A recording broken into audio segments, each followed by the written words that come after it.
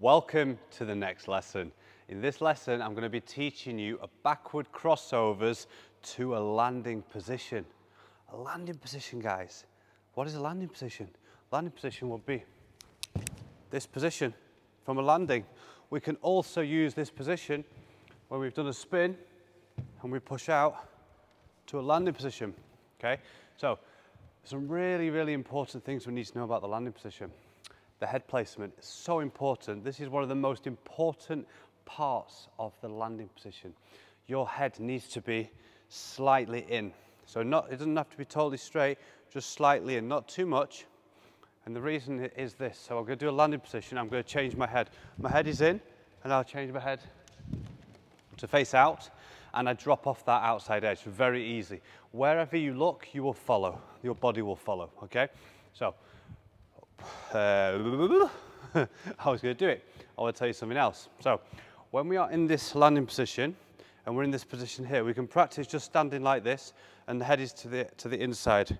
We're making sure that we're on the outside edge here, and this is the circle, imaginary circle, so our head is to the inside in case you were confused. And the arms are strong here, so from the side, my arms are in this position. Now you may find you want to bring this one forward a little bit just to help you. So when you come out of a, come out of a, a spin or a jump, you can think to put this arm forward, but really it's the shoulder that is having the pressure to stop you from rotating. It's the shoulders do the work, right? But we, it always looks like the arms, but it's the shoulders that are kind of in charge there, okay? And then the, the free leg will be in a nice, like you're gonna bring it up here into a nice position here, a nice extension out, okay? So I'll show you a couple of those on a circle. So we get into position here and we will be doing backwards crossovers and then from here into a landing position, just like that, okay? So you can do a practice crossover, landing position, come back up, cross, over, landing position, and something to re really think about here is the arms do not change. So if you're in a position here doing your backwards crossover, so your arms are here, and as soon as you finish the backwards crossover, you pick that foot up, nothing's changed. The head hasn't changed, the arms haven't changed, nothing has changed, just the, the position of your lower body. You've gone from here, and then you lift the leg up, okay?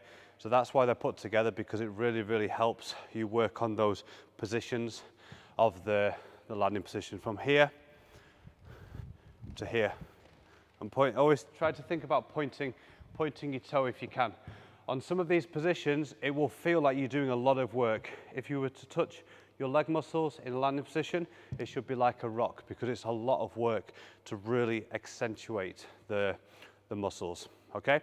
And now we will do it the other way, even though we don't jump the other way, although some people will be. There will be those small percentage of people that do go the other way. We still need to know how to hold a landing position or a nice extension the other way, okay? So we would be doing the backwards crossover the other way, and then we would hit our position here. So let's talk through that for a second.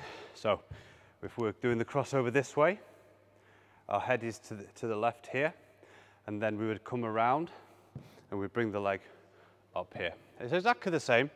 And what you can do, something that can really, really help you guys is if you have a barrier, you can practice into position like this and practice holding your position here. So don't be like this. Still try to have that nice position, nice arch in your back. And you can even just try to do the balance for a second and come back and balance for a second. And that would be for either foot.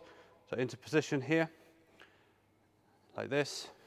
And you could even just, even just hold with one and practice your position there and then change and practice your position there.